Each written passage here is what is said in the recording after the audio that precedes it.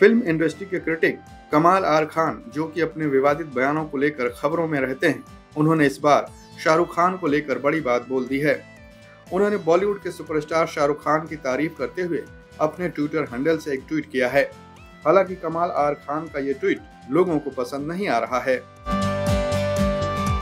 कमाल आर खान ने अपने आधिकारिक ट्विटर हैंडल से ट्वीट करते हुए लिखा है कि, भाईजान, शाहरुख खान यह सच है कि तुम आखिरी सुपरस्टार हो। यह भी सच है कि आप किंग खान हो। यह भी सच है कि आप बॉलीवुड के इतिहास के सबसे बड़े सुपरस्टार हो। और सच तो ये बात भी है कि आपने हम सब मुसलमानों की इज़्ज़त रख ली है। अल्लाह आपको और नवाजे। कमाल के इस ट्वीट पर यूज़र्स भी कमेंट्स कर रहे हैं। हालाँकि यूज़र्स को कमाल का ये ट्वीट पसंद नहीं आ रहा है। यूज़र्स को शाहरुख खान को मुसलमानों की इज़्ज़त से तुलना करना सही नहीं लगा।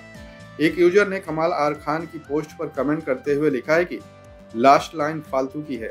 सही लाइन एस ने बॉलीवुड की इज़्ज़त रख ली है। वहीं एक दूसरे यूज़र ने कमाल आर खान को लताड़ते हुए ट्वीट किया है कि, आपको नेता बनना है। हिंदू मुसलमान फिटने ना लगाओ। शाहरुख खान के सभी धर्मों में उनके बहुत बड़े प्रशंसक हैं। अगर पठान फ्लॉप होती तो मुसलमान का कोई नुकसान नहीं होता।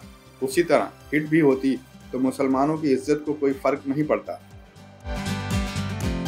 आपको बता दें कि कमाल आर खान ने यहाँ शाहरुख खान की फ़िल्म पठान की सफलता को मुसलमानों की इज़्ज़त से जोड़ दिया है। इससे मुस्लिम समाज की भावनाएँ आहत हुई हैं। इसलिए लोग कमाल आर खान के ट्वीट पर गुस्से से भी कमेंट कर रहे हैं।